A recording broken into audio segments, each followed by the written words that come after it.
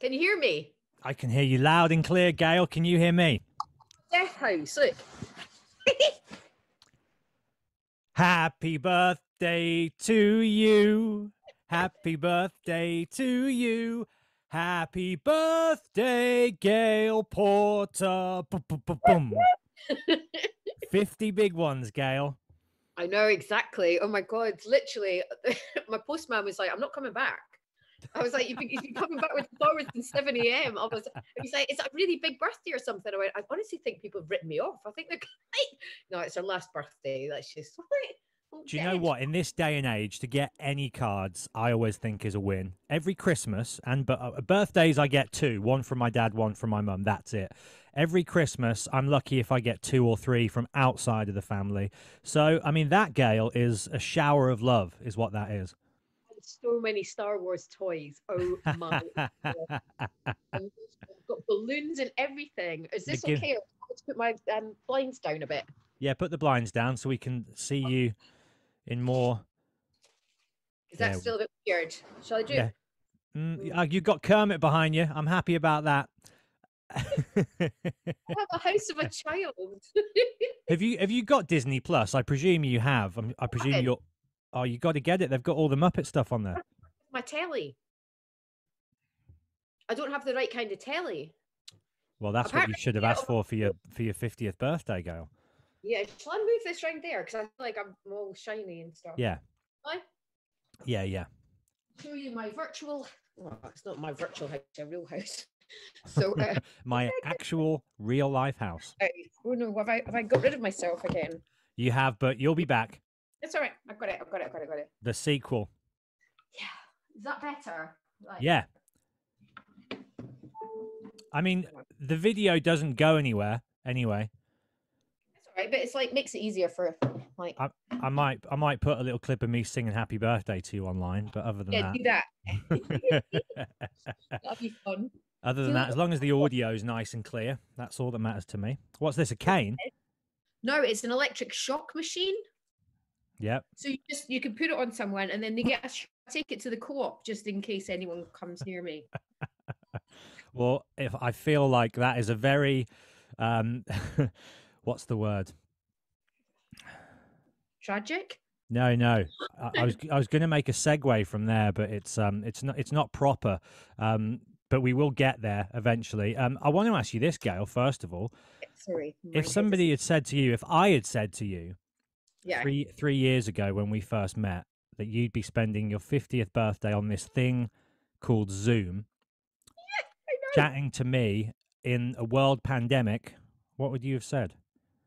bring it on. No, I would, I would have just gone. Do you know what? Yeah, no. I mean, the pandemic thing is just insane. Um, the Zoom thing is just mad. I spend all my life on Zoom now. It's pretty much my life is on Zoom. That's why I'm wearing these. They're not real glasses. They're blue blockers, so they block out the blue light from laptop screens. So, because I find if if I'm on them all day, when I was writing my book, I just found I'd go to bed at night and I'd get really bad headaches from just the overexposed blue light of the computer screen all day. So these just block out the blue light. I haven't got a copy of your book yet. Well, what you did do though, Gail, is you called me on the day that I announced that I was going to be doing one, and I wanted to thank you for that publicly because it's interesting, and I'm sure you can, you know, maybe shed some light on this. I find when you do something, like you must have found this with the documentary that you worked on, when you make something that you know your heart and soul has gone into, and you've worked really hard on it, and you're extremely proud of it, you really find out who your friends are um, Yeah. in the sense what I did, I found that so many people that you know from my past that I would have presumed would have been on the phone like you were weren't, and then you know certain people in my life like you who I haven't known that long extended that hand of, of friendship and you know showed your happiness for me at a time that really meant a lot to me I was And- so excited for you. well it was just it was a very sweet gesture and i want you to know that i'm very Were grateful you frozen? oh that'll be another Hang card Hang on, wait, hang on. Sorry. it's all good there might be a few of these as the conversation unfolds Thank you very much. You just leave them downstairs. Thank you. Thanks very much. More flowers. Amazing. You can never have too many flowers, and it's so spring-like outside at the moment as well. Oh my god, that's I don't even know what to do with them all. I'm, I suppose I'll have to give them to somebody. I guess. What the flowers?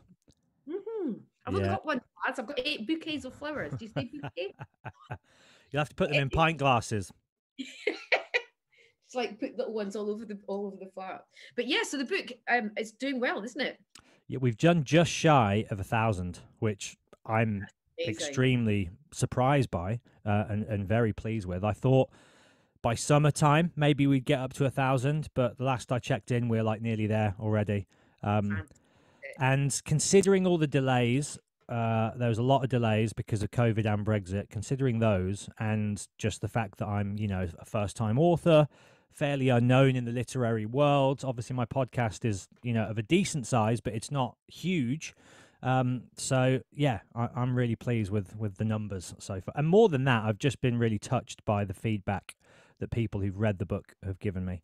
Um, yeah, it's a very validating feeling because I've written loads throughout my life and I've shared a lot of my thoughts on the podcast and you know social media, but to put it all down into a book, as you well know, Gail, is that's a whole other level, isn't it? Of of the exploration of the Did soul. to- did you ever get to the stage? Because I set fire to mine, right? Um, this is not even a joke. I got so angry with myself, and I was writing. I was like, oh, I don't really like it. So it was like I was handwriting everything, and then it's like got a lighter, chucked out the window. I was like, I don't even like that. And then suddenly when I threw it out, I thought, oh, actually, that was quite good. Oh, damn it! set fire to my book. Is that why there's been so many delays? yeah, You've been burning your work as you go. and that and also um, publisher um first publisher he went bankrupt so so uh, they dump, dumped me and then the second one just dumped me because they didn't want to do it and now i've got two or three that are playing with it so i don't even know don't even care anymore Well, you will. I mean, I, I can appreciate the frustration with the business side of it. You know, I've had that with the COVID delays that have meant that people who've ordered my book months ago, you know, had to wait. And so th- there's definitely like hurdles and, Yeah. and things in place that frustrate you and suck the creativity and the joy out of it. But you got to persevere. Um, so have you finished it? Is it all done? yeah it's pretty i mean it's, it's been done ages ago i mean i finished it a, what, a year a year and a half ago but then obviously with this that's happened and my dad passed away um uh, just before lockdown the first ever lockdown in spain so i had to go and pick him up well yeah but obviously get his ashes anyway Yeah. so then that was a whole new different ending to the book because i was like oh right so this is a new story so i've just sort of like i keep twerking it all the time and just kind of playing with it until you know I've well, I can't tell you. I'll tell you privately. But yeah, Okay. Well, one Um, thing, one thing I'd like to say, and I say this with all all the love and respect in the world to you, is what I learned with mine and what I've learned with speaking to songwriters over the years is things like these are never finished. A book Yeah. or a song or a film, that they're never ever truly finished, and I think that's why some people spend years and years and years. I think what you have to do is just get to that point where you go, "This is as as complete as it's going to be. It's time to share with the rest of the world now." because otherwise you'll just keep revising and, and updating and editing and changing and yeah. I think once somebody takes it off my hands, then I'll go right. It's done now. But because it's kind of still floating about because of COVID and we're not sure what's happening, so I've done a screenplay, so that's gone. So that's I'm not touching that. And then um, the book is just I keep going. Oh, I'm going to do that again. Oh, actually, I don't like that person anymore. Oh yeah. Oh god, yeah, yeah. that person's died now. So we'll just yeah. No, it's not that morbid, but you know what I mean. you just keep twerking it, like you say. It's like you want to keep tweaking, not twerking. That's like dirty, like the That- dirty dance that people do. Yeah, the dirty So- dance. You- have you written the screenplay yourself you've done that too I yeah. Well, what I did was I sort of like cut everything down from the book and then sent it off to a film company that I'm working with, and they've also got um, screenwriters, so they actually know what they're doing as opposed to me just keep writing. making so I've actually got grown ups that are looking after me. Says the 50 year old woman with balloons in her house. and and don't forget kermit the frog I'm Kermit and everything. Yeah. well oh, I've got, cheers to you gail Thank It- you. it's a Have pleasure to be Chewbacca spending mask? Have you seen my Chewbacca mask? no but i'd love to Right, hang on. I'll just go. sorry for over. everybody on the audio podcast not not enjoying the full visual display Keep talking. No, but the thing is, you can hear it, so it's all good. oh sorry chewbacca mask I know Yeah. exactly what's coming out. Here we go. There was Can a viral there was a viral video, wasn't there, of a woman in a car who Can you stop laughing? just was the happiest human being alive. Was that what inspired you to buy it? You're like, I need a piece of that. That happiness right there. Actually I went to the Disney store and the Disney store, this this is how tragic my life is. I'll go in and they go, All right, Gail. And I was like, ah, honey, my daughter goes, By "Oh name. God, you know, they know you by your first name. And I was like, Do you know where that Chewbacca mask is? They went, Yeah, Debenhams. I was like, right. So I went to Debenhams. They only had one, so I bought it. Wore it home on the tube. Amazing. I love that. First name basis. And they're like, yeah, Debenhams, come on, get out. We haven't got any. Does it bring you joy every time you wear it, or can you overdo something like that? Can you have too much of a good thing? No, it brings me joy every single day. It just makes me laugh. I don't know why. It's stupid, but it just makes me happy. I've got an interactive um, R2D2 and Obi Wan Kenobi. I've got to tell you something. I'm single, age 50. I know, right? Well, I've got to tell you something. I don't like Star Wars. I'm one of the few people that doesn't. And I always break the hearts of, of Star Wars lovers when I tell them that. But I've just you like Star Trek? No, I mean I love science fiction. I think what it was and what it is is because I didn't grow up on them. I don't have that You, how old are you, Matt? 35. Yeah. But they were they, they were still around in the 80s. I know they came out sort of late 70s into the early 80s, but they, they were still a part of my generation, but I think when you growing when you're growing up, you either have older siblings or parents that kind of pass their whether they do it consciously or not, their film tastes onto you. And my my parents just my dad hated sci-fi, wasn't into it at all. So I'd watch westerns with my dad, like old John Wayne movies, and then I'd watch musicals like Mary Poppins and Sound of Music with my mum. So it was musicals and westerns in my house, never any sci-fi. So I never saw Star Wars as a kid, so I don't have that youthful attachment to it. So now when I watch it as an adult, I just go, eh. See, I went to see it in 19, when it came out, 1978. 77 was the first one. Yeah, so I went actually queued up at the ABC cinema in Edinburgh with my mum. There was me, my mum, and my brother, and we queued up, went in, and I wouldn't leave at all the cinema afterwards. I was crying my eyes out, and my mum was like, "I don't know what's wrong with you," and I was like, "I want to live in space. I love, I love Luke Skywalker. I want to be Princess Leia." And she was like, "Oh my god!" So she bought me two massive badges. So I had one on my left breast and one on the right. So I had Luke on my left, and I had Princess Leia on the right. And then I went to school the next day with my hair like In the, bun. buns. Yeah. And then I wondered why I got picked on at school. Who knew? You wonder why Ewan Bremner wasn't, you know, Yeah. accepting your advances. Gail told me on the phone yesterday that you went to school with Ewan Bremner. Um, well, he was whi- here which, with me. but the same school, right? Yeah, Portobello High School. Yeah. Which in itself is incredible. And then you told me that you had a big crush on him. I had a As well. Yeah, but he didn't know, and I didn't tell him because I was quite shy, and um, I just used to watch him. and I think, oh, I love him. He's not. He's not. He's not what you'd call a stereotypical kind of heartthrob either. What was it about him that drew you in? Quirky. He was quirky. Yeah, he was always like that, was he? He, yeah, I remember he had like he had um rainbow trousers once. He turned up at school with rainbow trousers on, and I loved him for that. And he didn't seem to bother what anyone thought. Uh, Not that I, you know, I was not cool enough to be hanging out with anybody really, but um, I just remember he had rainbow trousers once, and I just thought, oh my god, I loved his hair. I loved everything about him. And then look at him now. Well, th- I think there is something very appealing and attractive about somebody that has little regard for others' opinions, in the sense that you know they're not held back by the judgment of others. Right? They're Yeah. free. They're truly free, and they're above or seemingly above those concerns that plague us all as kids, which is what are they going to think of me? I need to fit in. Um, Never seen. He just, he just sort sort of like floated into school, and I just remember just being completely thinking, oh, he's super cool. And now he's done amazing. But Yeah. I knew he was amazing. and obviously the the new McGee movie just came Yeah. out the other day, which we were talking about, written by your friend Irvine Welsh, with Ewan as Alan in it. And um, I mean, we've spoken about the '90s before when when you were on my show last, but when you watch that film. And, and when you indeed, you know, any films that are either set in that time frame or you know referencing that time, do you find yourself thinking back to the good times, to the bad times? Does it kind of not really touch you in a nostalgic way either way? Always good. Always good. Always times. good.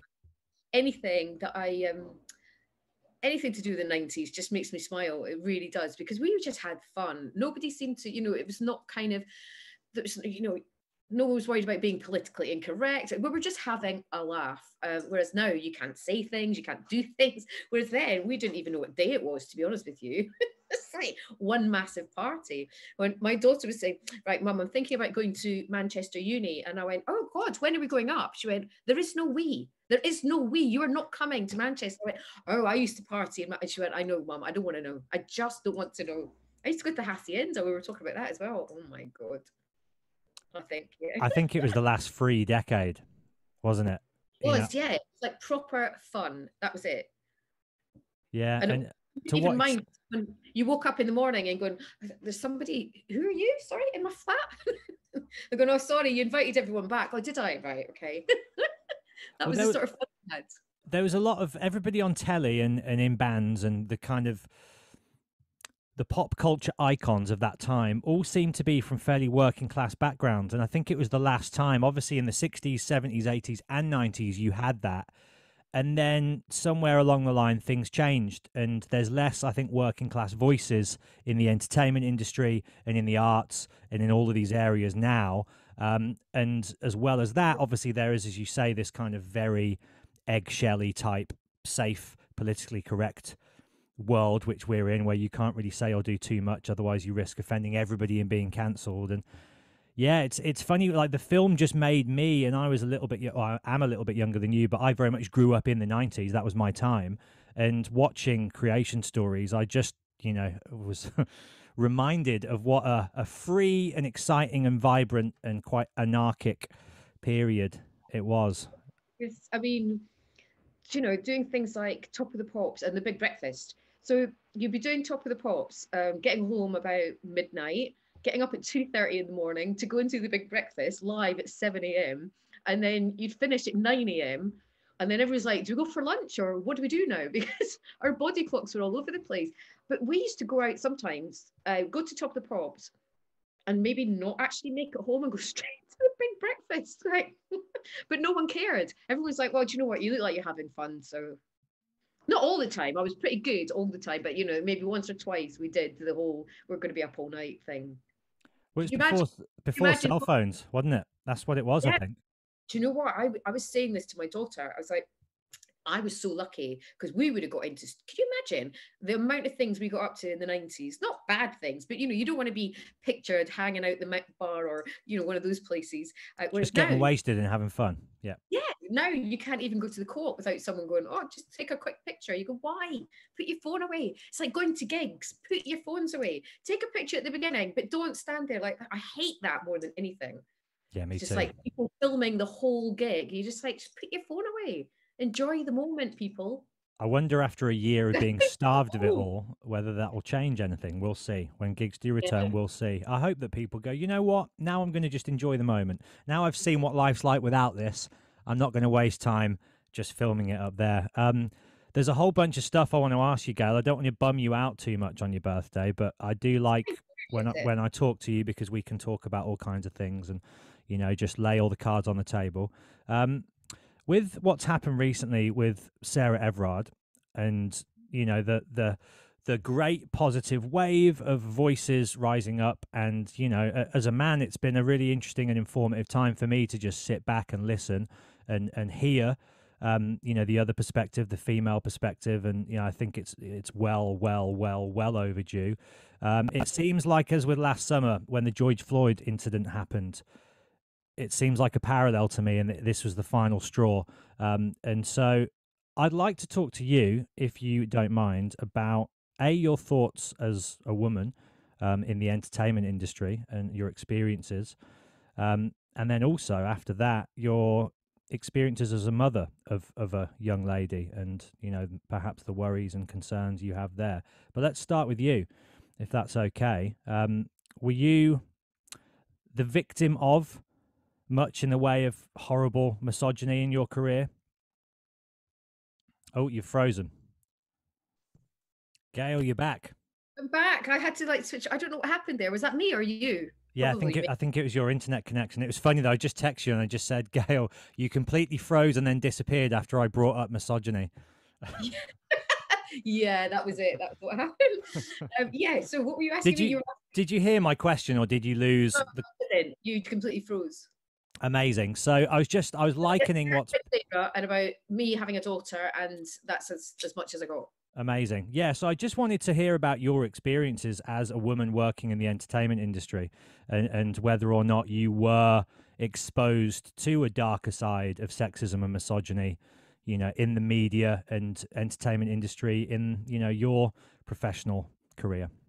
Well, um, most people I worked with were fantastic and lovely, and we all just had great fun. But I mean, I think the biggest thing that happened to me was 1999 when they projected my naked body onto the Houses of the Parliament. Obviously, I knew I did the picture, but I wasn't paid. They said they weren't going to use it, and then I wake up in the morning and I'm naked in front of the entire country, and nobody told me at all. And that was one time I felt really upset, just thinking, oh my god. I mean, yeah, I mean, how would they tell you anyway? Just going, oh, by the way, we're going to do that. I'd said no. But I mean, now I can look back on it and think, well, you know, people still talk about it. But as a female living on my own, suddenly seeing that, and then when I went to the shops, all these guys are like, and I was like, oh God, oh my God, this is actually a big thing. And I felt really, um, I felt really vulnerable. And I thought, well, you know, I obviously I know what I'm doing when I do photo shoots, but if they say they're not going to use it and they're not going to pay you, you don't expect it to be a hundred foot tall on um, a political building. I mean, So yeah, that- that that is the ultimate form of betrayal, and you know, just like if you weren't such a grounded human being, which you are, That um, could have broken me. That could have broken me. yeah, and would have broken so many people because that is like that's as outrageous as it gets, isn't it? A breach. Talk about breach of trust and misuse of power I- and the line. I tried to get in contact with the editor of FHM at the time, and not a single person would answer my calls. They just it was like I didn't exist anymore. And I was because I just wanted why? Why did you do this? And you know, it was just so outrageous. You just think that's that's quite massive. Uh, yeah, never never spoke to me. Never an apology. Never a phone call. Nothing. I didn't even get a copy of the magazine. Not that I wanted it, but you know, it's just like, oh my god, I didn't get paid. They've put me naked, um, hundred foot tall, and they've all just completely blanked me like I didn't exist. If that happened today, uh, people would be losing their jobs, wouldn't they? Just they'd be straight out. Definitely, hundred percent. But So, um, so nobody had your back. no, I didn't have an agent at the time, so I just turned up, did a photo shoot. We said, you know what, it's just going to be a little thing. Um, my mum actually came with me, and she was like, "Oh, look at you!" And um, then she phoned me up to say, "You're on the news," and that's how I found out. Just literally, I was in the bathroom, went through, and it was on BBC News. I heard my name, and I was thinking, right. I'm not going to be on well, why am I, why and then I saw the image. It took me a while. I kept looking at it thinking, this has got to be a joke. Then the phone just didn't stop, didn't stop. And there was people outside the flat. There was like, there was actually, I had a stalker after that, and he was sending letters to um to, like an, an agent person that I wasn't dealing with, and they were forwarding it. And then one day after the, the picture happened, I got home and there was a handwritten note on my front door with a red rose. He'd, got, he'd found out my house address. And uh, yeah, so that was a bit scary. Yeah, that's creepy, creepy shit. Um, so weird. it, it did have a negative effect on your life then, obviously, as something of that extremity would, in the sense that, you know, you didn't choose to do that, but obviously people were seeing it and, you know, then they make a certain assumption about you as a human being, don't they? Because something like that is so public, such a, a grand statement that you obviously weren't making yourself. It was taken out of your hands. I thi- yeah, that was the thing that upset me. I think that was the thing that upset me the most was the fact that people thought that I had masterminded this whole thing. And I wanted to say to everybody, I didn't get paid. I didn't know this was happening. Obviously, yeah, I knew the picture was taken, but I didn't think it would. No, never in a million years you're going to think, you know, that that kind of thing's going to happen. So everyone's like, oh well, you know, you did it yourself. You you obviously made loads of money out of it. I was like, no, I didn't do it. Someone took a picture and then decided. I actually saw the guys that um, were involved. They're, they're called cunning cunning stunts. I have to do that really carefully. and they they apologized. They were like, we were actually behind the whole thing. It was a big PR stunt by FHM, and they hired us to do it. And um, yeah. And they said, "Are you, you angry?" And I said, "Well, not now. now that you know my bottom looked quite nice, but it was a bit. I mean, it was. I spent a good year in shock and knowing that people were judging me, thinking that I was some sort of airhead that gets paid to do these sort of things. So yeah, it was a bit weird, but you know, is what it is, I guess.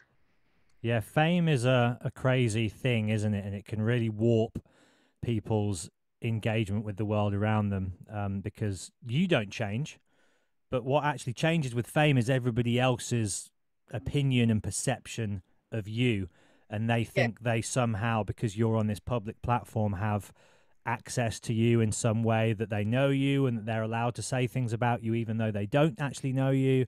Um, and I've I've noticed that in a lot of people that have been like at the top of that mountain when the fame hurricane hits is you actually don't really change that much in yourself. It's everything around you and you're trying to frantically adapt to that while staying as sane as you can and you feel also like you um I always felt like I was justifying myself by going, I'm not actually, I'm not a bad person. I'm not, and I think, why am I justifying myself to people? So now I, I feel for kids, like my daughter's got a really good head on her shoulder. She's 18 years old. And I always say to her, social media block report end of it's that simple um i don't understand when people get involved in these twitter like arguments and you know, I just think, do you know what? If someone says something mean about you, do you know what my favorite one was? Did I tell you this one? When someone was trying to be mean to me on Twitter, usually nine times out of 10, people are lovely. But this guy said, I wonder if Gail Porter's got any public hair. And I was like, oh my God, it's pubic. And no, I don't. And if you're going to abuse me, spell it correctly. Yeah, there's nothing wor- uh, there's nothing better, sorry, than when people try and be mean to you online, and they they're always people who can't spell. They spell their like T H E R E when it should be E I R. I don't like that at all. I, have done it once before, and I literally go straight on it, going, "Oh my god, I'm so sorry, that was autocorrect." And then, was it Gail? Was it really? I was like, "It was. I promise you, I always spell there correctly." what about in your private life, Gail? Um, in terms of feeling threatened or uncomfortable in certain situations because I think uh-huh. these are the things that we really need to be talking about now more yeah. than ever. Um, and I've always been, and I'm not trying to just say this and make myself look good, but you know, because I'm a DJ by by craft, and that's what I, what I, what I used to do. Hopefully, I'll do it again someday. And when you DJ, you're often on a raised platform. You have full scope of the whole room. You're trying to read the room anyway to soundtrack it. And I've just seen over all my years DJing the worst kind of behavior in men towards women in bars and clubs. And I do always say, I'll like, if I see somebody who's just being an asshole, then I'll float by the girl and sort of whisper, if you want me to tell like the security to get this guy to leave you alone, just give me the the thumbs up and I will. And I've done that several times because, you know, I want people at my nights to be having a good time and I want the vibe to be positive and pleasant. And but at the same time, I don't want to live in a world where you can't approach a stranger and talk to them. You know, and it's a fine line between like leering and being gropey and gross and intimidating and awkward and just going up to a stranger and striking up a conversation. So I think these are definitely the sort of topics we need to be exploring more. Um, you know, to try and set boundaries for people and educate people and how to engage with not just the other sex, but the same sex as well. But what's your experience has been over the years as a woman out and about in the big, wide, nasty world? Um, oh, I'm not. Uh, can you hear me? Yeah, yeah. Oh, hold on. Rewind. Go. Is that good?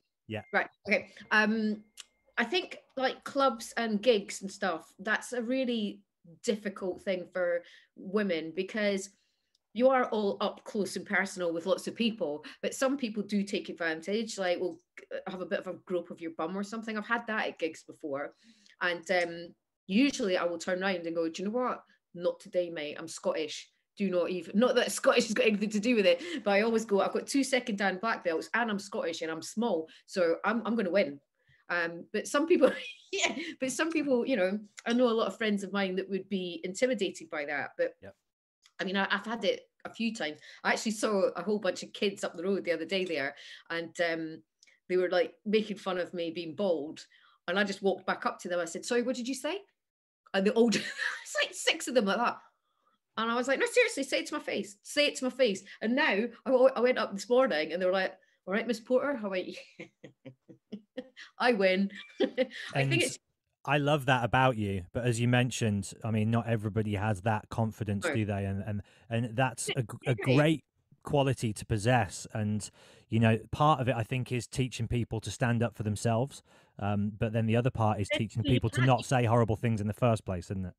But also, you can't sometimes because you don't know how crazy people are. So, like those kids, they literally shit themselves when I'd back and they were like, sorry, sorry, sorry. But then you could meet a complete nutter who might just attack you for you know so you got to be so careful you know i do get nervous um even on the tube i was on the tube the other day there and there was nobody on the tube it was it's like ghost town london. Yeah. so um i was sitting and then this one guy got on and sat right opposite me and just stared at me and i got off. I was like, I have to get off because he, he made me so nervous. I thought, you're on you're on a vehicle going under tunnels with one bloke just sitting staring at you.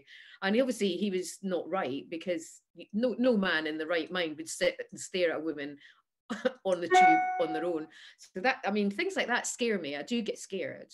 But um i just i know you can't spend your entire life being worried but i don't even like going jogging I, I go jogging in my park and i think about what happened to you know um sarah and you just think I mean, it could happen to anybody. He was a police officer, wasn't he? Yeah. Yeah, that's the most fucked up thing about it all, isn't it? And his missus was arrested as well. I mean, I don't know. I just, I don't want to know. I just think that poor girl just walking home, that was it. And some, whatever, I don't know. It really upsets me. I keep saying to my daughter, I was like, just carry a knife. She went, no, mum, that's illegal. I was like, oh, right. Yeah, I mean, I don't want to worry you too much because um, right. you obviously probably worry yourself enough. But do you what do you think about that being a mum and having a young daughter? Oh, all the time, all the time. Literally, if she goes to her dad, she's like, "Oh, just jump in the tube." I will not let her. she's 18. She's like, "Mum, when are you going to stop?"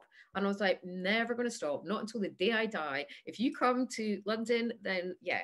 Because she's like, "Dad's in Sussex, I'm in London," so she's always traveling. But I will you know he's he's a bit more calm than i am whereas i will be at the train station and i will make sure in fact i went to the train station to drop her off she was going to see her um um her dad and the guy at the train station was like do, you want to do you want to go and give her another cuddle gail I mean, she's mortified. She's not even waving at me. She's like that. Go away. Go, because you know, eighteen-year-olds they think they they know everything, but they don't.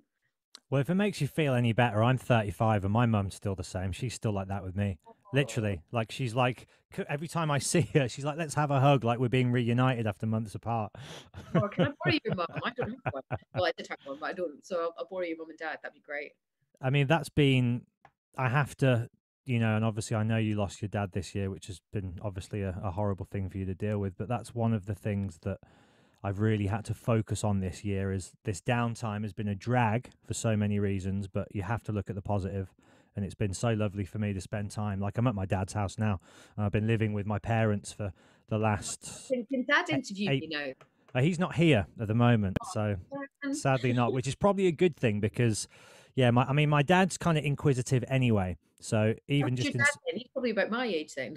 no, no, he's way older than you. He's about sixty-eight all right, 18. He's got 18 years on me. All right. Yeah, yeah, yeah. He's he's he's old. He's old, and um, yeah, it's just been lovely. Like spending time with them. As much as they drive me a little bit mad because I'm like I'm 35, as I said. You can't, I think, deny the uh the eternal sense of just needing to protect and nurture your your offspring as a parent. It's just a yeah. natural inbuilt feeling, isn't it?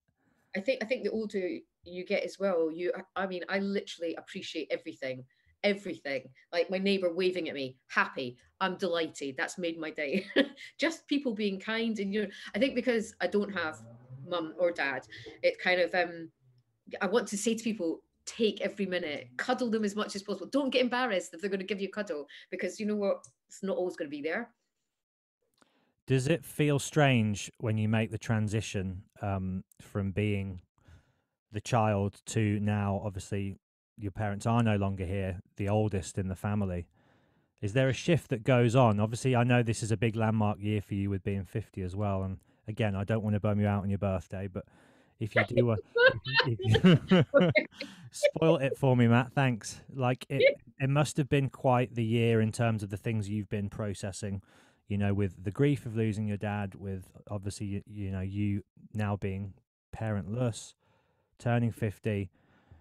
Well, do you know what? My mum and dad were um they weren't very um touchy feely mums and dads. You know, they weren't cuddly type things. You know, um, so you get home from school and go, "Oh, I've just got a great report card or something." They go, "Well done."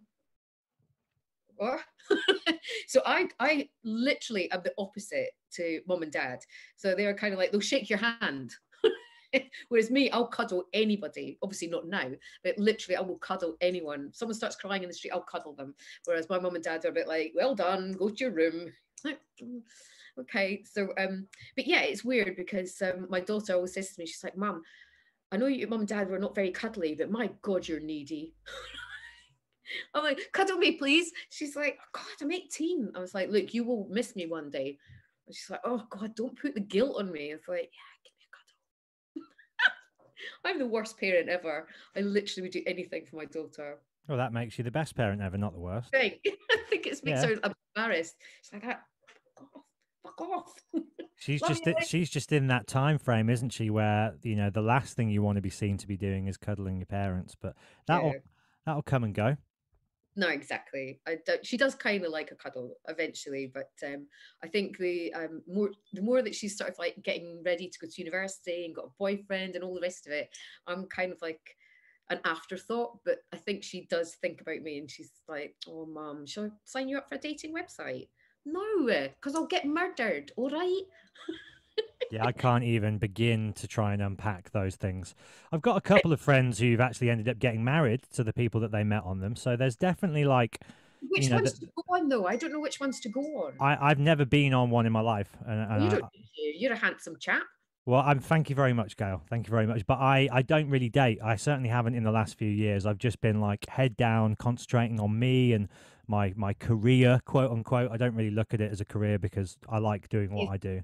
So it, it doesn't feel like work, but yeah, I'm pretty. I'm really happy on my own. And I thought at the beginning of lockdown, like, oh my god, this is going to be the worst year ever at school. I didn't know it was going to be a year, obviously, but I thought this is going to be a really lonely summer. This is the worst time in human history to be single in a pandemic. But actually, I think this is the best time to be single for me because it allows me the time to just work and do the things I want to do and I've seen so many friends whose relationships have been put under so mm-hmm. much pressure and strain.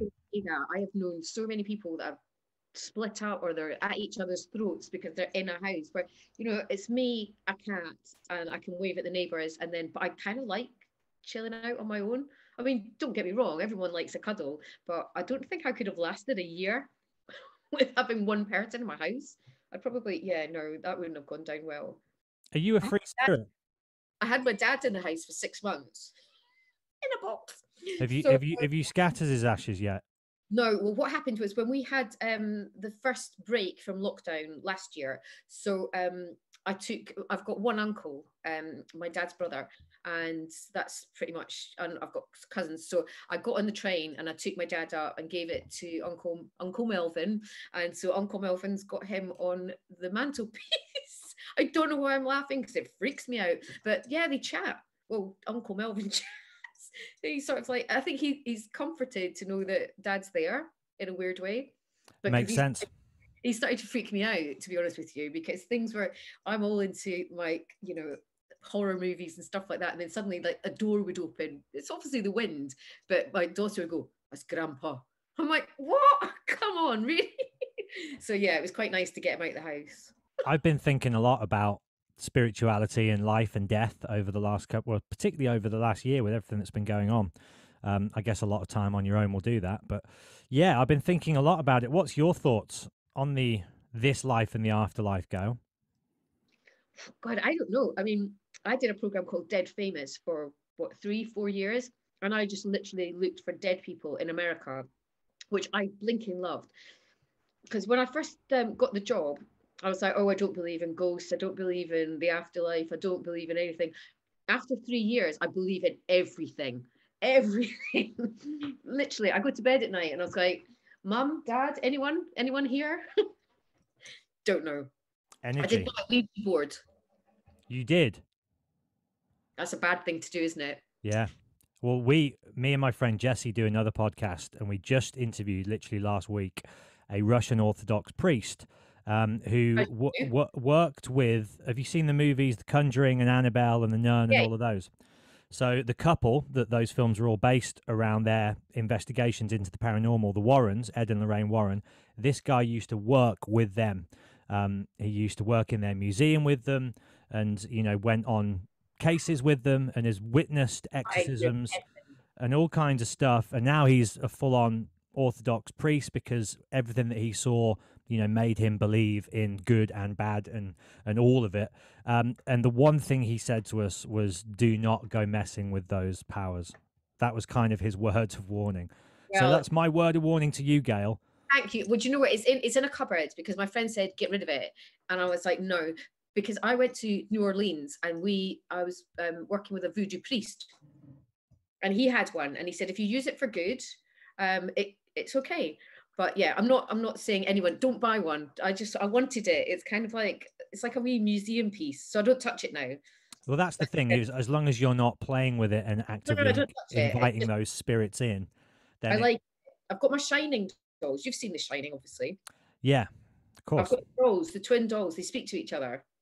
Well, you, you're, you're interested in the macabre, aren't you, Gal? That's very much your aesthetic. That's your style. I love it. I just I love things that I can't explain. So when I actually came back from doing the Dead Famous program, there was a psychic that said to me, um, "You know that someone's attached themselves to you," and I was like, "Oh my god, really?" And he's like, "Yeah, you've got someone." I, I there are days I think there's something in this house. Yeah, Or on you. It's not attached to the house. but it's attached to me. Yeah, but it seems to be a friendly thing, so it's okay. It's all fine. So um, yeah, we did amazing things. We slept in Alcatraz twice. How was that?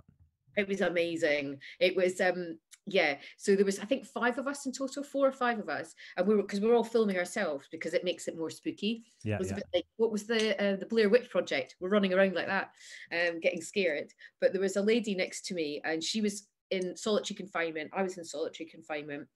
And I could hear her. It was like what midnight, one o'clock in the morning or something. And she's like, "Oh, her name was Carla. Oh my God, Gail, there is somebody in the cell with me." And I was like, "Oh my God, who's in the cell?" She's like, "It's a ghost. He's a prisoner. He wants to have sex with me, not you." I was like, uh, "Oh, right." I can't even get laid by a ghost. I was like, "What? How is it?" and she did the same as well because we went to um, Jim Morrison, where Jim Morrison stayed in LA in that little motel, and we Yeah, went yeah. and so we were doing a seance and then she's how we we we literally had to cut everything out of our filming because I didn't stop laughing. She's like, "Oh, Jim." We're like, he's, he's not there. He's not there. And she's like, not you, Gail, just me. I was like, oh my God, literally every ghost wants to have sex with Carla, but not me. It's funny people like that i think and it was interesting talking to this priest that we had on because i think there are the people like the one you're describing do massively discredit these things and that world because they're clearly just total phonies that Yeah. are like in it for all the wrong reasons um Well, you know the, the least spiritual kind of people ever Every day she got possessed. There was Oh, yeah. somebody else. She but only famous people. she yeah never yeah got yeah and they only ever wanted to be with her and nobody else of course yeah, uh, yeah. Jim Morrison wants to have sex. Everyone wants to have sex with me, and they're all famous. You're like, "Mm, what about Bob from across the street? No, no not interested. He no. only wants me. Did you work a lot in America? Did you kind of break the states in any way? Because that was always the thing, wasn't it? When you when you were trying to chip away at the the entertainment industry, was UK then US, and you know, so few British presenters have done it, haven't they? Throughout the last twenty odd years. Yeah, I mean, we, that show didn't go out in the states. We just we were like backwards and forwards every month just to film out there. But um, it's too big, America. I mean, I don't get me wrong. I love America. Um, not all of it. I've had some of the most amazing fun times um, and met the most crazy people. But um, I was always very happy to come home. I think San Francisco was one of my favorite places. Never been. Would love to go. San Francisco, New Orleans. I went to New Orleans before they had that awful. Katrina. Yeah. Yeah, so um, I was there, and that in fact, I got tattooed there. That was my first ever tattoo. So um, I was walking. my director had said to me, right, Gail, we're going to go and do a quick recce, going to check out some locations that we're going to be filming in. Do not speak to strangers. I'm a grown up, but they know how to deal with me. They're like, don't speak to strangers, don't make friends. And so, of course, and they went, don't go down to the, the really bad bit of New Orleans. So I was like, so basically, speak to people you don't know, go to the bad bit. So I did all the things I wasn't supposed to do. And there was a voodoo priest, and he is that like, a bit of a common thread in your life?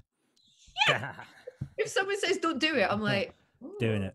Don't touch that. Really? You'll be getting that Ouija board out the second I'm off the Zoom, won't you? Go on. You're but, in New um, Orleans.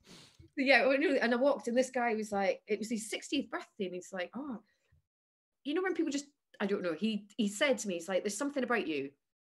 And I thought, yeah, yeah, whatever.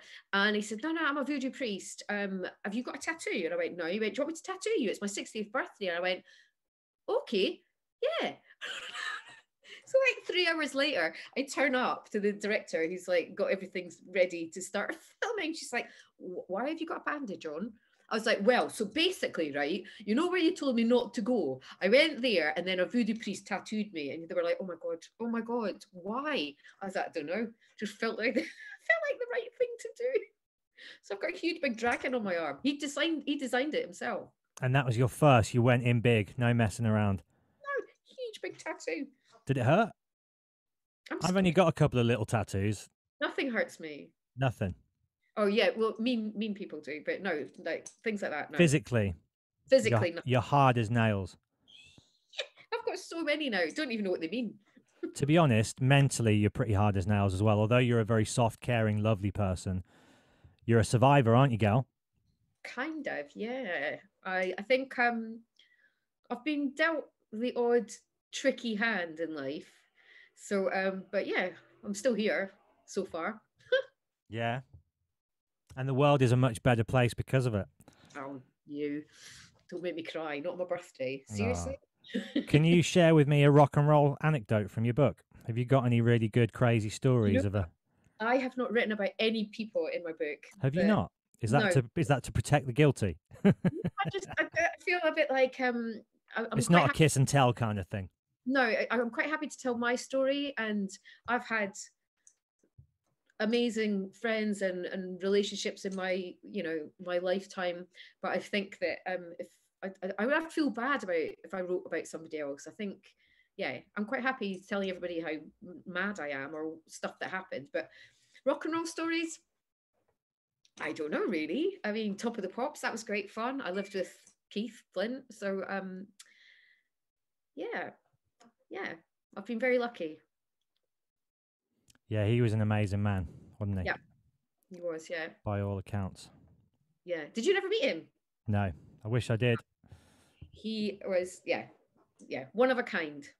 They were the band that sort of changed everything for for my age group. When that video came out, "Smack My Bitch Up," everybody was like, "Oh my god, what is this?" You know, it was like the Sex Pistols married with rave music super just dangerous visuals. I did a podcast recently with Jonas Åkerlund, who did the right. smack my smack my bitch up music video for them.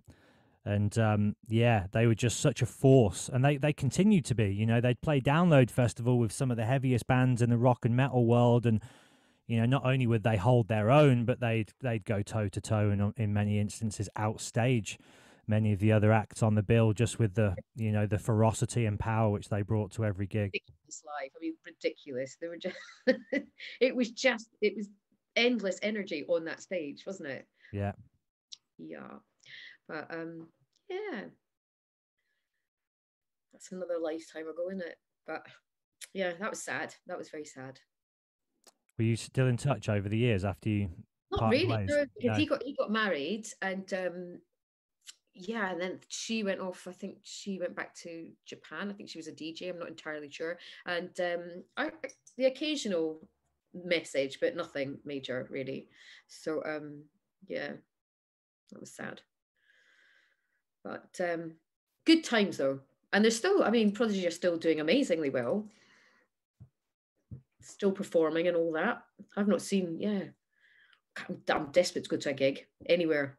What was, la- what was the last gig you went to? I was trying to think about that, you know. I think it was um, probably Hyde Park. I went to see Florence with my daughter. Very she, nice Yeah, she was a big fan of Florence and the Machine. Oh no, actually, that's a complete lie. That was just before, and then I went to see Nadine Shah in um, the Roundhouse. Do you know Nadine? No. Oh, she's great, amazing. She's uh, amazing. So she had a gig at the Roundhouse, and um, I went there, and Brix Smith was there. You know, from the Fall. Yeah, So- Brix has been on this show. Yeah, She's lovely, isn't she? Lovely. she's Um, amazing, and I've her book. I've I haven't finished, but I've been reading, and it's again what a life, what an incredible story. I know. She's a yeah. She's a because literally, I think that was about. So, it was just before I went to pick up my dad from Spain. I think it was the day before, and it was just about lockdown time, and we were all thinking, "What's going on? We don't know." And um, yeah, Nadine was playing, and yeah, I think that was the last gig I actually did go and see at the Roundhouse. I do love Camden. Yeah, well, I used to DJ week in week out at the World's End. I remember. that was my life for you know a good couple of years and it's one of the i mean it's it is changing and it is getting gentrified and it is slowly becoming like the rest of the world but camden was one of the spots in london that seemed to retain and hold on to its sense of individual unique character for the longest um, now there's that box thing there though i think that will all change soon enough and you know like the kind of box park they have in shoreditch they've got one of those in camden now so i'm sure that will you Uh, know I think hipsterize the whole area. The last thing I, I did in Camden was I went to Camden Rocks. Yep, Oh, I've lost you again. there we go. No, I hate this. Do you know what? It's like, A, you can't see real people, you can't hug anybody. And then when you actually get to see your friends, then it just breaks down. the fucking internet crashes and ruins everything. I know. Have you tried switching it on and off again? Yeah, fuck you. Yeah. Got to get yourself a better service provider. It seems, Gail. Have a word. Have a word. Do you know what? I was trying to watch Murder this morning, not like real life murder, but um, the on internet for that. And, yeah, and it said your internet's not working. I was like, oh, come on, really? It's my birthday, you dicks.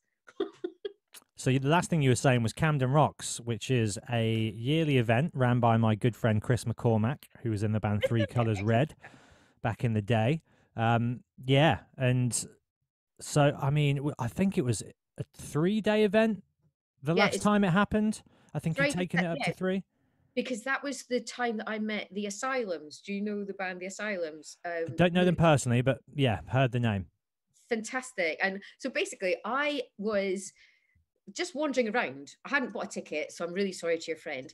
And um, so I was I was literally um, I was just passing Camden Tube Station, and these guys came out. Um, Luke's got lovely big hair, and um, they went, "Are you are you Gail?" And I went, "Oh God, yeah." And they went, "Oh, you know our friend Danny Watson, who used to run a club in Notting Hill, Death by Disco, with Alan McGee." And um, they were like, "Oh yeah, he he's managing us." And I was like, "Oh right." And they had all these equipment, and I went, "Do you want me to carry something?" And they went, "Yeah, if you don't mind." so these Instant like roadie for the band. Love it. these strapping big lads going, yeah, if you, you can carry that. And so I carried. I went, but can I get into your gig then? And they're like, yeah, yeah, sure. If you carry that, it's fine. I just pretended I was with them. I was like, I'm with a band. It was like almost famous. You know that movie? Yeah. Like, But that's going back now. So that must have been like uh, Right. June 2019, right? pro- yeah, it was like Wow. three, three, four years ago, three years ago. Well, Maybe. Gail, when shows are a thing again, I've got to take you to one. You've got to get to more gigs. Oh my god, I can't wait! I, I'm just so excited. I got honey tickets to go to Reading this year because Yeah. Queen Stone Age are playing. Um, um, but I don't know if that's going to happen or not. I mean, I don't like saying on public platforms that it's not because I don't want to take the wind out of anybody's sail. And I enjoy seeing the festival selling out and people getting excited for it. But I think I when I see one event happen, then I'll believe all the rest are going to go ahead. But Yeah. until then, I reserve all excitement. because I yeah I bought her tickets before obviously all this happened, and I bought tickets for her and her three mates. But one of them said, "Oh, I'm not sure if she can go," and I was like, "Excellent!" Shoe in. And Honey was like, "No, no, no, you're not coming." And I was like, "Oh, come on, really?" And I was like, "Yeah, but I, I'm really, I'll, I'll be really quiet. You'll never hear a sound. I'll, I'll disappear. I'll probably get tattooed by a, a weird, like, Do you know- random." When was the last time you were at Reading, Gail? Oh my god! It was actually the Prodigy were playing. So, what early two thousands? two one was that? thousands? Oh God, I can't remember because I forgot that I was supposed to be on um, Good Morning Britain, whatever it was called at the time, and I got um, a message from somebody saying, "Oh, you're um, there's a car to take you to TV." And you're in a field having it large. having it large, watching like one o'clock. I think it's midnight. We were still partying, Yeah. and someone's going, "No, you, you've got to, you've got to go to work." I literally turned up, probably stinking. Bit of mud on the shoes, getting everywhere in the studio. Oh no, Gail, you froze again. Fourth time's a charm, Gail. Fourth time's a charm. I know. Oh my god, I'm so sorry. I'm so sorry. It might just have to be like s- slow, subtle movements. it's weird, isn't it? I don't know what causes it's going to overdrive. But yeah, sorry, you were saying you were about to go to the studios from Reading to be on Good Morning Television. Yeah, and I, I I don't know if it was Lorraine or something like that, but I I remember I was just like, oh my god, I'm stinking, and I have just watched the Prodigy play, and they want me to talk about Jedward, and I was like, I don't even know. I was on for about thirty seconds. I'd come all the way back from Reading, didn't get paid, and I went on to talk about Jedward. I don't Amazing. actually remember what was going on. I was like, I don't know what's happening. Well, you're one of those people who, and there's only a few of them, who kind of seamlessly manage to transition back and forth without changing um, from the mainstream to the alternative. You know, I think most people, for me, as somebody who's like a quote unquote uh, in the alternative side of things, um, it's interesting when, you know, you see certain people try and enter that alternative world from the mainstream and you're like, you're just faking it. I can tell that you're not interested in this at all. Whereas you obviously love rock music and fashion and you know all the things that come with the territory, but then you can be on the most commercial. Well, you know, you, you've always got the Great Frog jewelry going on. You're a rock and roller. There you go. Uh, Do you know what they sent me? This one. Do you see that? It says "Mum" on it. Amazing. They sent me that Mother's Day. Ah, It was a gift from them because I'm always wearing all this. So um, yeah, so you, very- you're you're part of the crew. Um, but then you can go and be on the, you know, what's the other one? Loose Women. You can go and be on shows like that as well. um, yeah, no, uh, no. I have I have done interviews on there before, and bless them, it's fine, but it's not my kind of telly.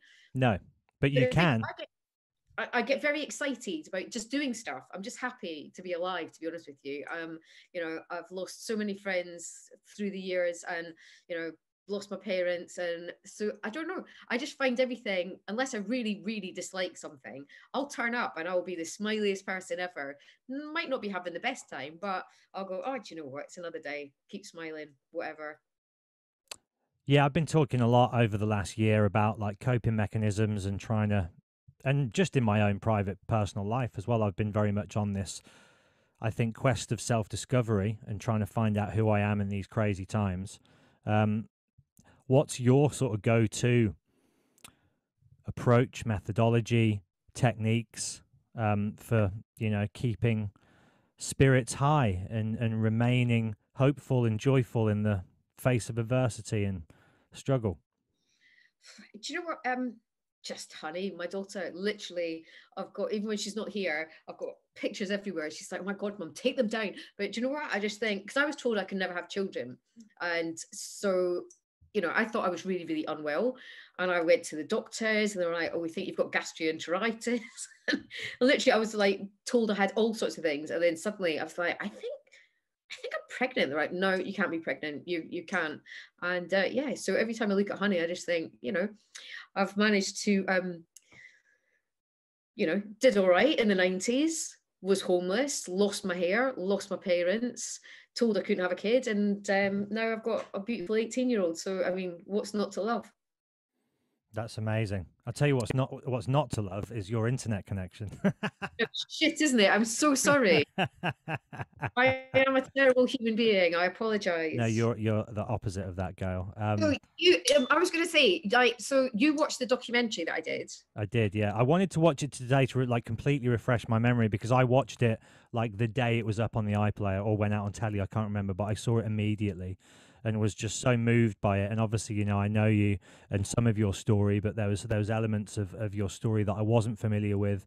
Um, and you know, a even if I didn't know you, anybody who watches that, you just come across like the most likable, lovable, positive person. Um, that was, I think, for me, the thing that really shone through is, you know, there's obviously a great human story of triumph over adversity and, and getting through hard times and all those optimistic kind of inspiring things but you just come across like a beam of sunshine girl well i wasn't bringing it up to be a total like hey check that out I was, bringing, I was bringing it up to say my That's dad what was in saying though my dad was in it I know he was, yeah. And So- you you have a very sincere moment that you can tell is real. You can tell is real because you know he's opening up to you, and you, you're having like it's a it's on camera, but it's a very private, intimate, special moment, isn't it?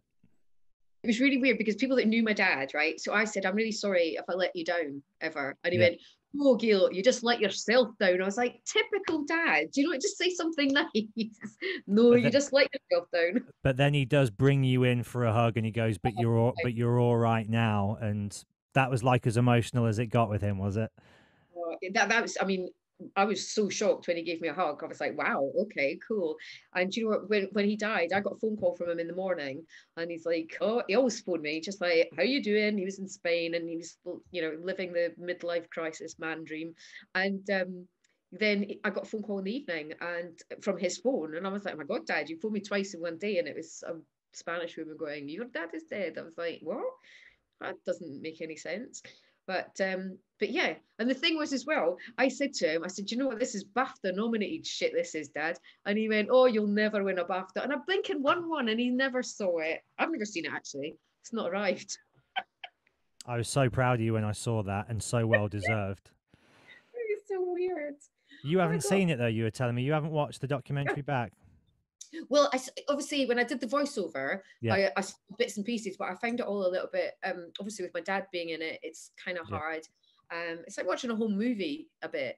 So yeah, I've seen bits and pieces. Probably if I put it all together, I have watched it, but um, I've not actually sat down and watched it as a whole program.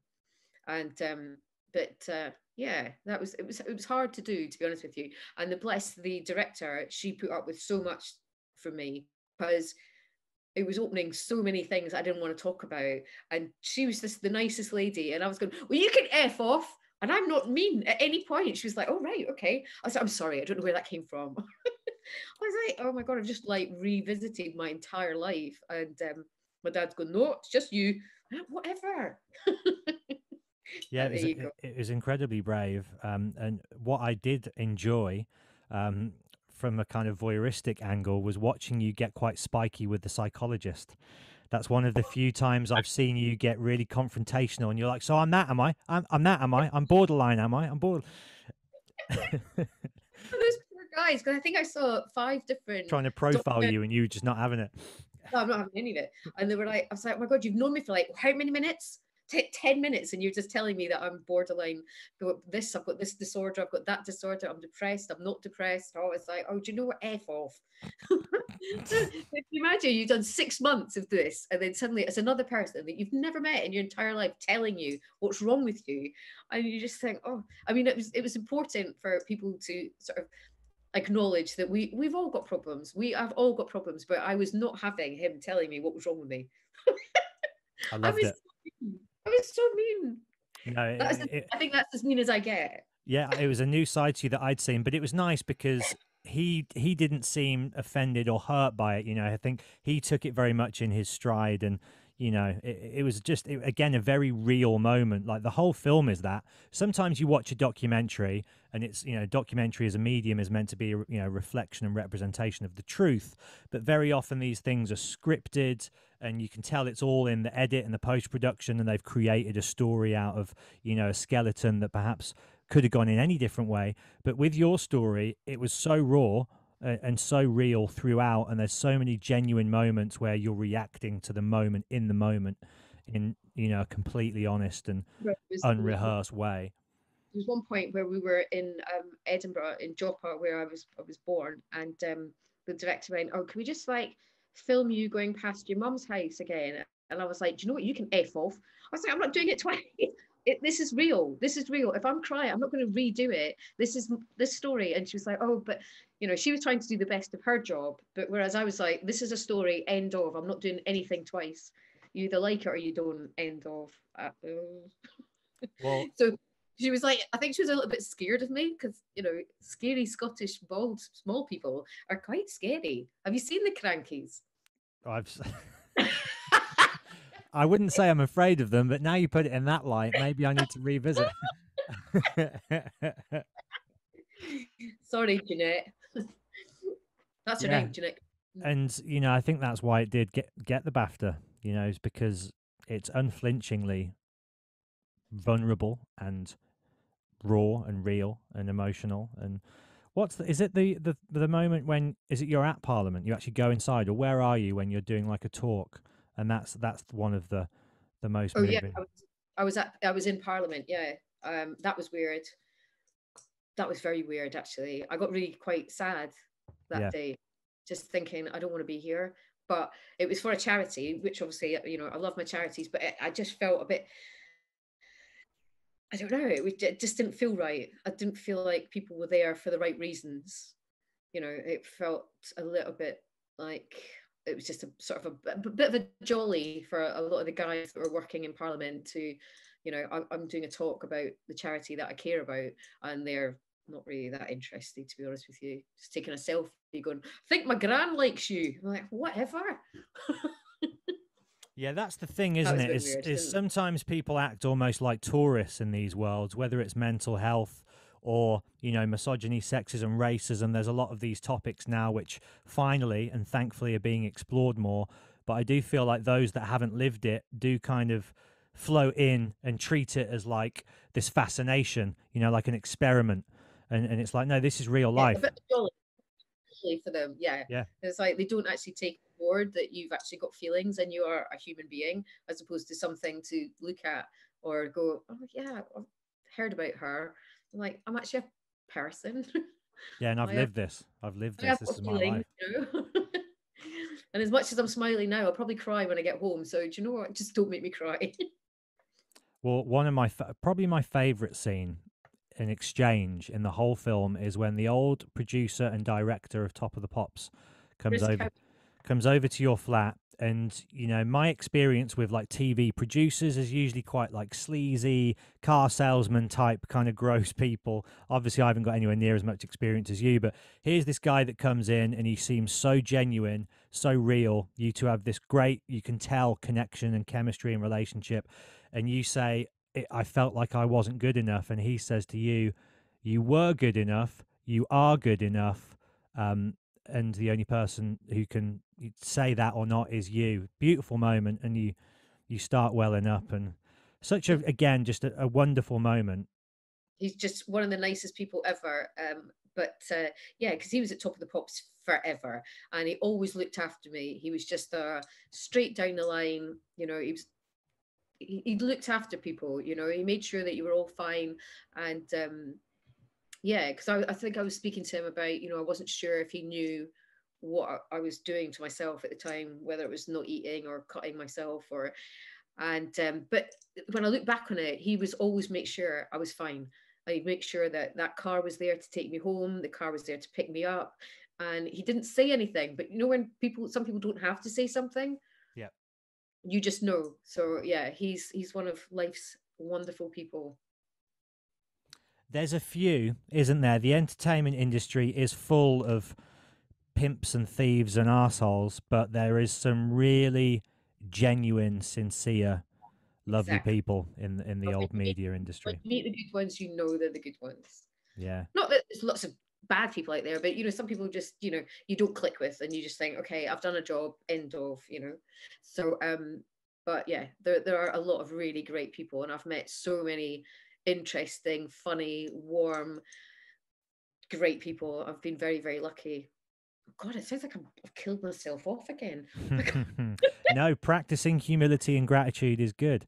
It's it's it's a good way of reminding yourself what you've been through and the good things that you've experienced. And yeah, I'm constantly trying to like practice gratitude, not in a, as you say, not in a eulogy kind of a way, but it's good to acknowledge the good things in life, especially if they're hard fought You know, if you've been through stuff to to get there. Yeah, no, he's uh, love Chris Cowey. He's amazing. Um, I just, you know, I really miss things like that, like Top of the Pops and Big Breakfast and fun. You know, when you actually watch people on the telly that are just laughing, are just having fun. I don't think there is much of that anymore, really. And if it is, it's kind of like um, it's very sort of um, staged sycophantic as well, and they're all mates. Everybody's mates on the telly. Whereas, you know, we used to turn up at the big breakfast, no idea who was going to be there, no clue whatsoever, and then that was it. You just laugh and laugh and laugh. Whereas now you sort of turn on to telly and it's like there's someone interviewing their mate or there's somebody else's mate on the telly. Maybe I'm just getting really old. No, I, I mean, let let me pull this up, right? I'd love to hear your thoughts on this. Your old friend Irvine Welsh did this post the other day, and this goes back to just the Creation Stories movie and and the '90s and talking about that. But Irvine says, and I'll kind of paraphrase because I won't go into too much. Oh, you know what? I think I read this. Yeah he says it reminds me of the fun and freedom that we've lost in our modern age, not just with COVID, but to the crushing mediocrity and conservatism of the corporate technocracy of modern neoliberalism. And he goes on this big post yeah, about how the entertainment industry is, you know, all the risk and the art and the excitement has been sucked out of it, um, and how kind of the working class culture has just, you know, lost itself. And an amazing post because I found Alan's film. It wasn't maybe the greatest film I've ever seen, but the energy and the pacing of it it really brought out this strong emotion in me that reminded me of my youth, reminded me of that time. And I couldn't quite put my finger on why I was feeling those things. And then I read Irvine's post and I was like, yeah, it's that re- it's that rebellious spirit which the 90s had on mainstream, you know, morning television. As you say, you turn on like the big breakfast or, you know, and you have Zig and Zag and these characters like it just it was like anarchy. It was like the lunatics were running the asylum, but it seemed innocent, you know, it wasn't a dark scene. No, I mean, I used to be on the bed and I didn't even look at the puppeteers. I was talking to Zig and Zag like they were my friends. and they'd be going, and I was like, so anyway, right? Well, you know, and you know, I got to interview Kermit once. So like the dream. The but, dream. Um, My friend interviewed, I think, Kermit and Miss Piggy for Kerrang Radio. Yeah. And I saw the video and I was like, dude, how do I get them on my podcast? Obviously, with a podcast, it wouldn't work. It would sound no. pretty funny, but you need you need yeah. the visual there. yeah, no, I did. Uh, where did I? Um, I actually, it, oh God, there was a great program called Wish You Were Here, which was a travel. You're probably too young. I, re- I remember Wish You Were Here. It was on like Sunday evening, six p.m. That's yeah. Right. So, um, in fact, that was that. Those were the days when you actually got paid a little bit of cash, but um, they used to um, send you places. You know, obviously I went to Scotland a lot because I'm the only Scottish person in the world, so they just kept sending me back. But um, they sent me to the Maldives, and I went with Keith Flynn, and because I phoned them, and I said, um, "Can I take a friend?" And they're like, "Yeah, of course." They paid for it, you know, because it was all paid. Everything was just fun. But um, yeah, Kermit, I'd gone to I'd gone to LA to do Wish You Were Here, and I was at it was the opening of um, the LA Disney whatever I don't know uh, one of those big what do you call them? The, the big theme parky things. Yeah yeah yeah. So the Muppets had uh, they had their own theater. So they um so I got to interview all of them. So there was um oh my god there was Beaker there was the chef. I mean, if that if that isn't living the dream, I don't know what is. That is like yeah. Well, I was literally, I talked to them all, like the puppets, did not even notice the people underneath. And then there was like, um, there was a party in the evening. And of course, the people were there, not the puppets. And one of the guys was like, Hey, Gail, it's nice to see you again. And I was like, Don't know who you are. And he went, It's me, it's Kermit. And I was like, Oh my God. he was the, he was like, Oh, I didn't even recognize you. Went, You didn't even look at us. you were talking to the puppets.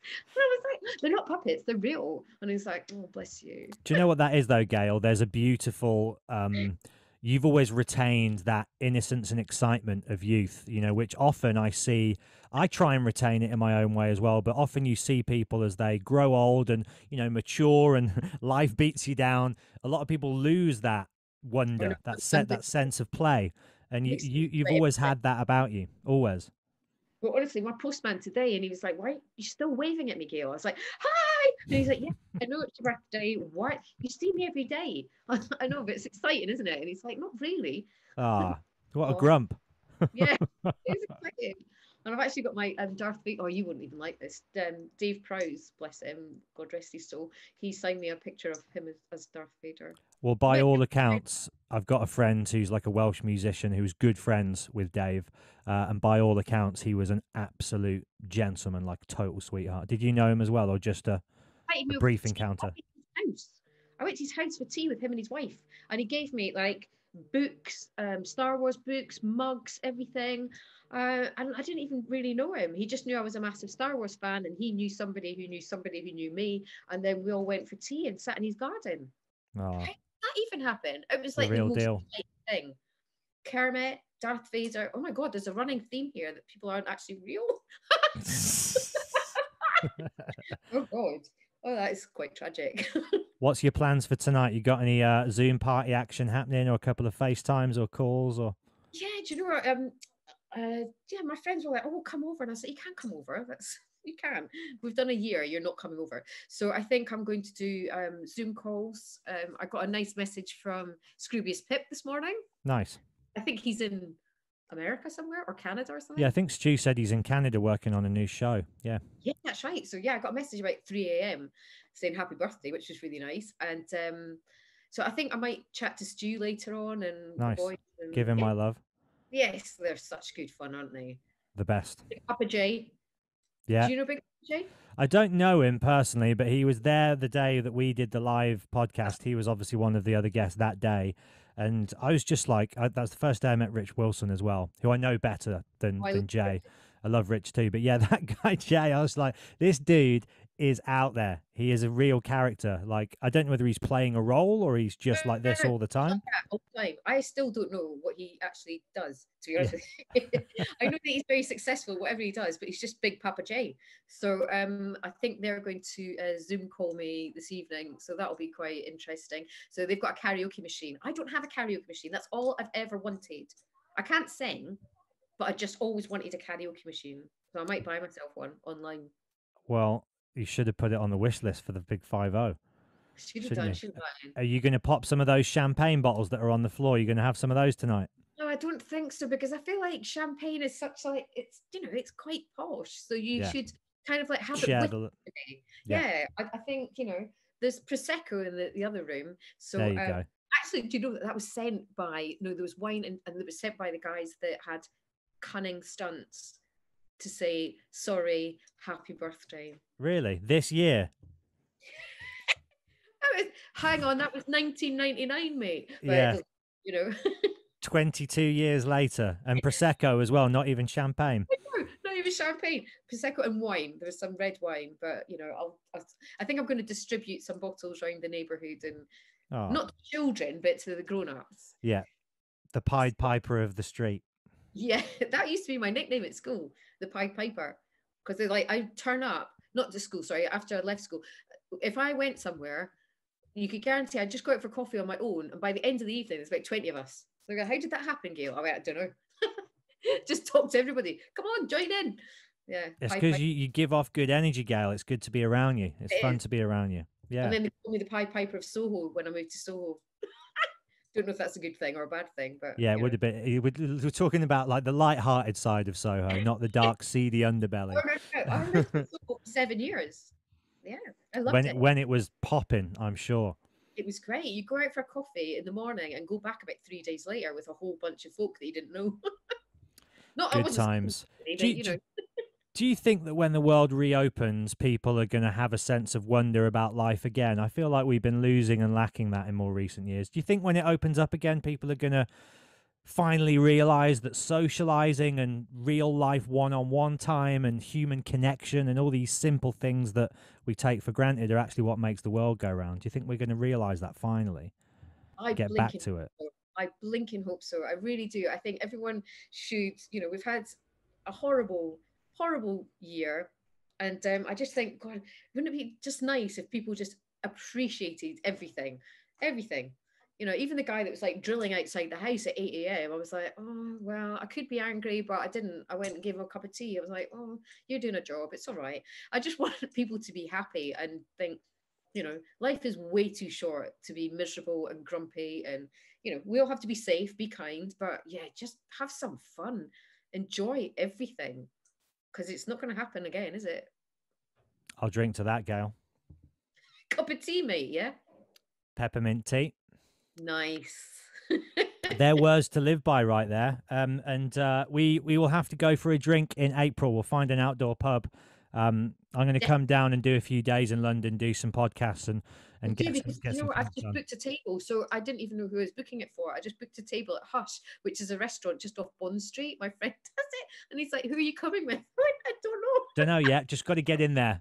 Just got in there. I booked don't- table for. you're going to be fully booked soon, aren't you? So I've got to get in. Do you know what? That will probably happen. I, I've spoke to a lot of people who are in the hospitality industry, and you know, some of them are f- fully booked for like the first two, three, four weeks from when they open, round the clock. Just because I think people are literally like after a, it's a year today, isn't it? Not only are you 50 today, but a year Yeah, ago today we went into lockdown. because I came back with my dad in the box. So, right, this is the last thing. It's not funny, but it is kind of funny. So, I was sitting at the back of the plane with my dad, and he's got his ashes, and I, I put him in a bag that said happy on it because I didn't want people to know that I had a dead body in a box. So, um, I was sitting there, and um, this lovely air hostess came up to the back of the plane. She was like, "It's Gail, isn't? And I was like, "Yeah, yeah." And she said, "Oh, you were on a flight ages ago, and you were being really nice to one of the attendants that were, do you want to go up to first class? And I was like, well, it's from Spain. It's not like first class, you know, just a bigger seat. And I'm only five foot one. But um, I said, yeah, sure. And he said, oh, she went, oh, we've got two seats. And I went, oh, perfect. So I can bring my dad. And the guy next to me at the back, he went, sorry, what? And I was like, oh, yeah, oh, that's my dad. And he's like, "Oh God, please!" And I was like, "Do you want to? Do you want to go to first class?" He's like, "No, you. No, God, no, you. What?" And I was like, "Oh yeah." So I put my dad on first class, and then the lady came up and she's like, I'm not entirely sure how to deal with this. So I've got you two wee bottles of red wine, one for you, one for your dad. I went, oh, my dad's never flown first class before. She's like, right. I was like, oh my God, this is just like so weird. Only me. Do you know what though? That right there, that little story is life in a nutshell. There's so there's so many elements to that story which just touch me right in the heartstrings, and it's eh. perfect. He eh. never flew first class. The one time he does is his last flight In a box. in a box with from Spain bottle of wine. in a in a pandemic. You couldn't make that shit up, could you really? You couldn't. And is that how the book's gonna? is that the end of the book right there? Amazing. It is actually. It's at the end. It is at the end. So, um, because I had written it. so when I first started it, it said to mum, to dad, to my brother. So then I fell out with my brother. My mum died. My dad died. So I was just like, just to the cat. To honey. Don't know who the book's for. It. To honey, yeah. I was like, no, you can't read it, honey. You can't read it. It's all probably out there on the internet, isn't it? Is there is there anything is so, there yeah. anything in the book that hasn't yet been like divulged and shared? And is there a few little nuggets you've held back? I did write a whole load of stuff about when I was section stuff that people didn't know about. So um yeah, that was that was hard. I think that's when I set fire to something, but um I kept it back in. I rewrote it. So there's yeah, there's lots of stuff, personal wee things, you know, nothing nothing explosive. My life is not that exciting, but you know, um feelings. There's a lot of feelings that I've written down, you know, Yeah. um with mental health and and sadness and happiness and you know so um yeah that's about as exciting as it gets really matt Well, no, but there's nothing more affecting than just unbridled honesty. And you know, you've always been a champion for for these subjects, which are now finally getting the attention they deserve. And you know, when you yeah, when you reveal the things that you've experienced and been through in such a way, it speaks to people and, and helps them. And, and you've you've obviously seen that over the, the years and you know that. And if I can give you any piece of like for what it's worth advice in, in regards to the book is really do just if you're comfortable with doing it be as courageous as you can and put it all in there because all the best books that I've read that have touched me the most and inspired me the most have been the ones that you know the jaws on the floor with the level of the peeling back of the skin and you know how how exposed and raw and and honest it gets. They're always the best ones. If you can me you need to send me yours or i'll just buy it obviously i'll buy it online. No i'll, But, I'll um, bring you a copy down when i see you. I'll come down and i'll bring you a copy. Yeah i'd love to. Um, and i will be down in a few weeks so. Yeah well let me know and uh, we'll go for a drink somewhere outdoors. Yeah 100% I'm so sorry that we've had like a shitty connection-y type thing, but we got there in the end. We got there in the end, and I'll just take out those gaps, and nobody will be any the wiser. Thank you so much. It's really nice to see you. You too, and Thank um, you for me. thank you for. Talking. Sorry, you cut up again. Gail, the pleasure is always, always mine. Um, and Thank yeah, th- thank you for being you. We're uh, we're a richer world with you in it, Gail. Thank you for celebrating my birthday with me. Peppermint teas all round. Yeah. Did you see my mug as well? You don't even appreciate anything. Uh, it's a Star Wars reference, isn't it? Just love Star Wars. Literally love Star Wars. I can watch it over and over. It's like I said to you. So I've got Star Wars if I'm sad. Um, Harold and Maude, which is my favorite. Now film. that I can get down with. That's a top five all time film for me. love it, love it, love it. I can watch it. I can wa- happily watch it every day. I love it, love it, love it. And if I'm feeling really depressed, I watch Anchorman just because it's so stupid. Yeah. So stupid. You just think, oh, I just want to be in that film. And hang out with those characters. So, I love Lamp. Yeah, I know you do. I'm going to play out this podcast because I like to come in and out of the podcast with 30 seconds of a Alright, song relating to the guest. And I'm going to finish this podcast with the Cat Stevens song off the Harold and Maude soundtrack. If you want to sing out, sing out. And if you want to be free, be free. Be The best. There's a million ways to be. You know that there are. So good. First time I saw that film, I just wept and wept and wept. Happy tears. Um, if nobody's seen it, watch it this this week. It'll change your life for the better. Harold and Maude, so good. it's just the best and the soundtrack amazing just uh, everything about it is just it's like a hug in a movie It, well, the first time I, s- the only time I saw Cat Stevens live, I was front row with my friend Ryan, and we were the youngest people there by you know a good twenty years. Everybody there was sort of sixty and above. Then this was ten years ago, um, and he goes, "This next song is from a film that uh, I did some songs in," and me and my friend were like, oh, "We'd had a, we'd had a few. We were those people," and I was really excited. So I'm there on the front row going, "Harold and Maude," and he's like, "Yeah." Yeah, it's Harold and Maude. Thanks for that. All these old Cat Stevens fans like glaring at me like, "Shut up! Don't sing along." Shut up, shut up, it's just um, it's just the best i've got it on my headphones like i've got the soundtrack so if i'm having a bad day and i'm on the tube i'm just like pop that on i've got certain songs that i go to and i just think i'm not having the best day that's one of the albums that i always listen to and also i listen to it's a sin just because it reminds me of like the 80s and 90s did you watch it It's a sin. No, that I've seen a lot of people tweeting. So the pictures is all of them kind of in the pastel suits and dresses in a car, and it's a very 80s shot, and that's like the cover. Yeah, I've seen that image shared by so many people whose opinions I value. So I need to get on it. Is it a series? It's um I oh I don't know how many episodes it was um but I watched it all in one one night and it, I cried I laughed I cried I laughed it's you know Is that is that good? Is it?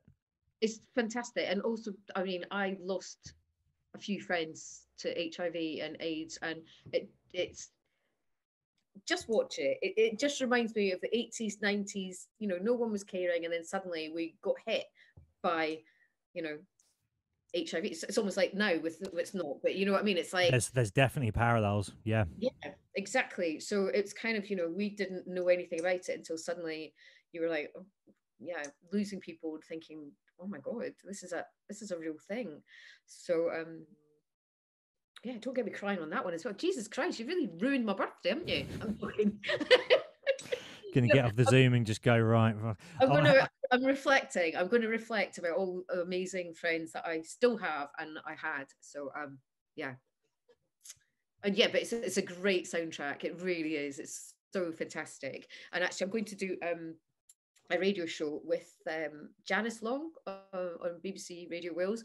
So I think we're doing that Thursday, but we're trying to get um, Frankie Goes to Hollywood, The Power of Love. It should not just be a Christmas song, it should be a song all the time. You know, Yeah, it's it a song about love, isn't it? And survival. Exactly. You seem to sort of like bring it out every Christmas, but it's not a Christmas song. So we're all for petitioning to just get people to play it all the time because it's the best song. Are you still doing your radio shows? That's still happening.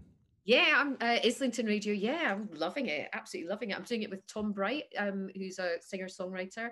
a great guy.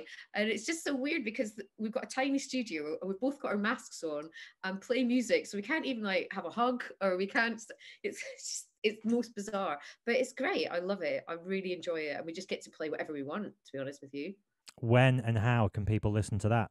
It's on Mixcloud, um, so you can listen to it anytime. So I do a new show every Friday, but I mean, you can just rack up any show you want. So there's there's a whole bunch of amazing people um, on there. There's Rowena from the Subways. Um, she's got a show on there.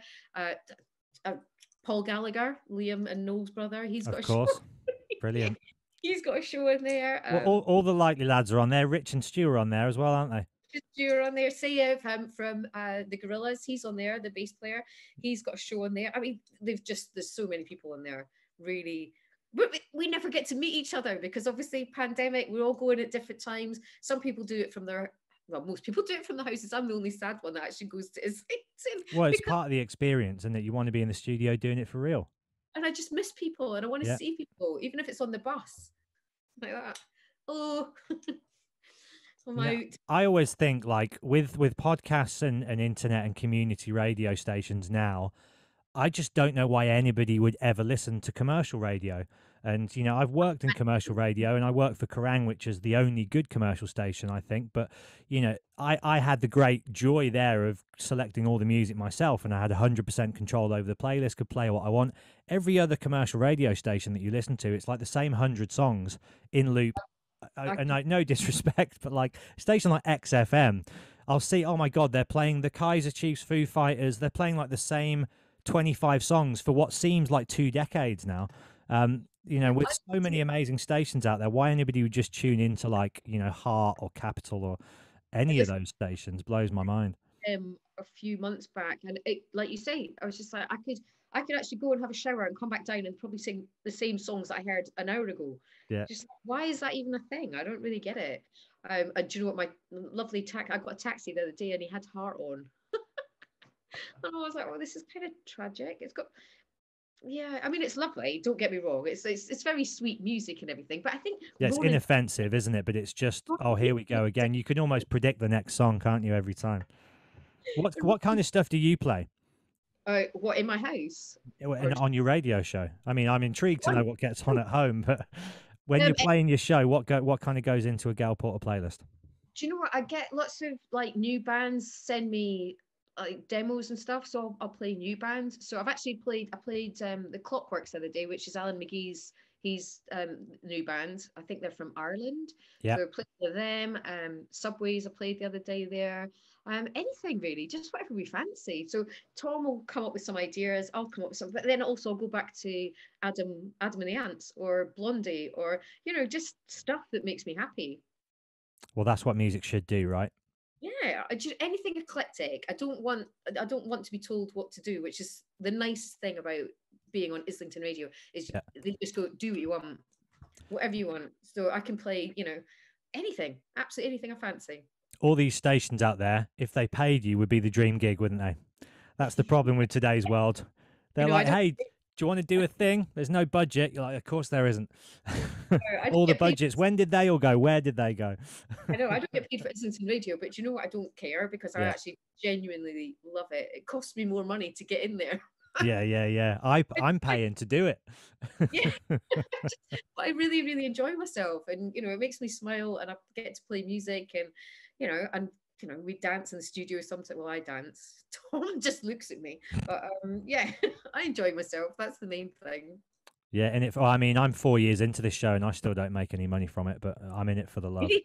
Yeah, still don't. It's unbelievable. I mean, it le- it's leading on to plenty of other opportunities which do allow me to to make some money, like the book and various tours that I've done, and this new podcast will hopefully get there. But yeah, I see this. There, there was a period at the end of last year where I nearly stopped doing it because I got so frustrated with, you know, putting out great conversations with interesting people consistently. You know, putting out what I think to be one of the best interview podcasts out there, if I can say so without sounding arrogant. and um, yeah, I'm just like, after four years, what's the point if I'm not making any money still? It's driving me mad. And then I thought, you know what? Fuck it. I was like, this isn't the thing in my life that's going to make me money. There'll be other things that come from this that do. This is just the thing that facilitates all the other things and that really enriches me and keeps me satisfied, content, and yeah, like alive. I've got to pay the rent. I need to pay the rent. Yeah. Well, I'm So I think- 35, single, and living with my parents. So I mean, we'll see how long I can do that for. But for, for now, it's it's been nice reconnecting with them, and uh, Oh, yeah. with a cat. So yeah, living the dream. But at least you're paying your own rent, Gail. At least you're Yeah, paying your own do pay the rent. You've the rent, killed it. You've smashed it at life. How long that's going to last for because no one's paying anything. But yeah, it's fine. You know, I'm, I'm not. I'm not. Um, do you know what? I've been homeless before, and I'm not that I'm going to be homeless again. But you know. I think once you've you've dealt with that, you think, you know what, life is all right. As long as I've got the basics to go on with, I've got my friends, I've got my daughter, I've got some food in the cupboards. You know, I didn't have that a few years back. I had nothing.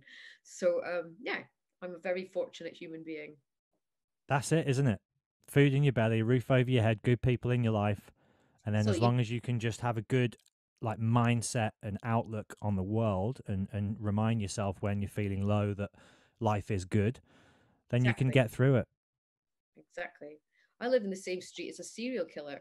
Well, he's not with us anymore. He's dead now. But uh, I live in Dennis Nilsen Street.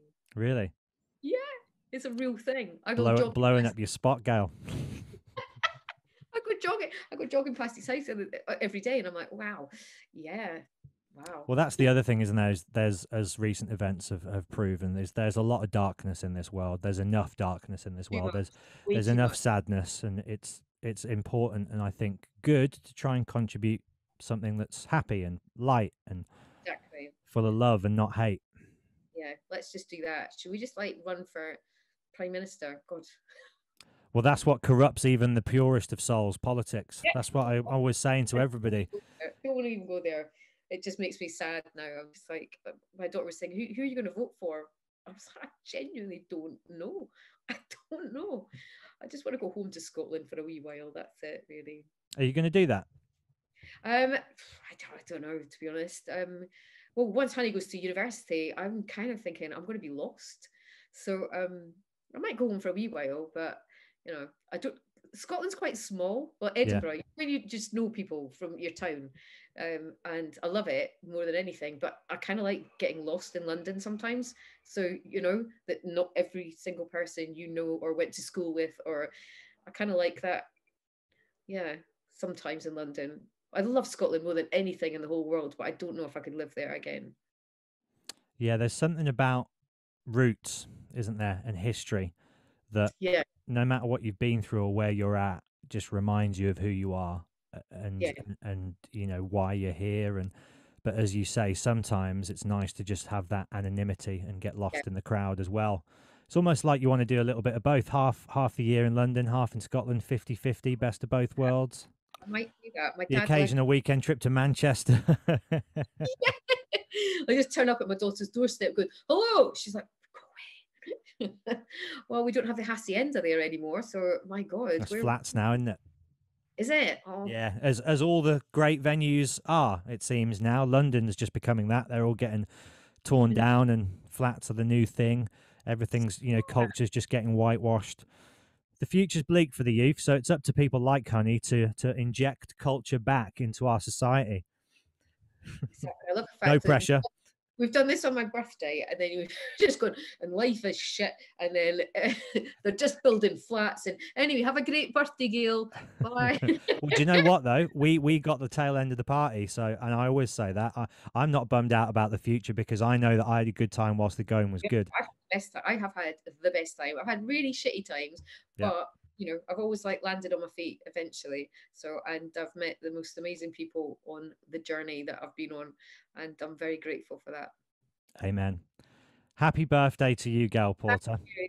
Thank you very much. It's so nice to see you. Can't wait. We'll go and have yeah, go to Hush in Mayfair. It's really nice. I'm up for it. Yeah, sounds good. I'll wear my best attire, so I Yeah, won't I won't show you up and embarrass you. I just wear trainers and jeans now. That's it. Well, actually, when I, jeans are when I'm getting dressed up. Usually, I'm just in a tracksuit. Well, we'll we'll gene it up, and um, yeah, that'll be really nice. I'll keep you posted, but I'll definitely be in London in a few weeks, so we'll do it. Perfect. You know, and I will see you when you arrive in London town. Thank Have you so much. have the most wonderful birthday. Say hi to um, mom and dad for me. And if I you want to do. get all up for it. and uh, get this book out. Yes, I'll send you some of it. I mean, it's yeah, it's, it's done. It's just um, yeah, publishers. I don't know. Nobody. Yeah. Some people think it's all right. Some people don't want it. I don't know. Well, I've done it anyway. See what happens. It'll come. The the right publisher will present themselves, and uh, yeah, I can't wait for after the documentary. I mean, that's like the the icing on what's the phrase? The the tip of the iceberg is what the documentary is, and then the book will be the I can't, I can't the believe I big actually kahuna. Got nominated for a BAFTA the one year where we can't actually go to a BAFTA celebration. I know. Collins with my mate going, Did I just win a BAFTA? She's like, Yeah. And I was like, All right, uh, cool. Okay.